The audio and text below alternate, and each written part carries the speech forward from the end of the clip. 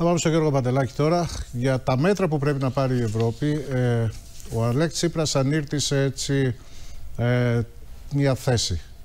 Πριν από λίγα λεπτά στο Facebook υπήρξε μια ανάρτηση από τον πρόεδρο του ΣΥΡΙΖΑ που επαναλαμβάνει τη θέση και τη στήριξή του στην ανάγκη έκδοσης ευρωομολόγων. Αναφέρεται μάλιστα στη δημόσια στήριξη ευρωομολόγων από τον συμπρόεδρο του S5 στην Γερμανία, του Νόρμπερτ Βάλτερ Μπόριαν.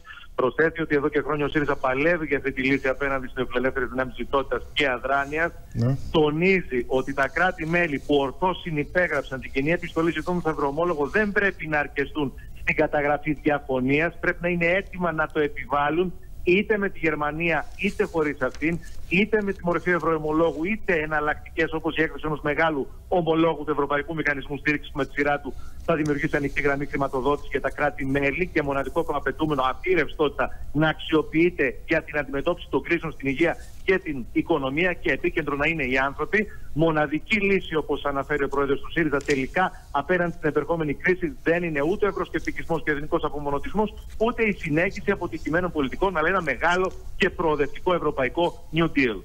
Αυτά. Ευχαριστώ πολύ.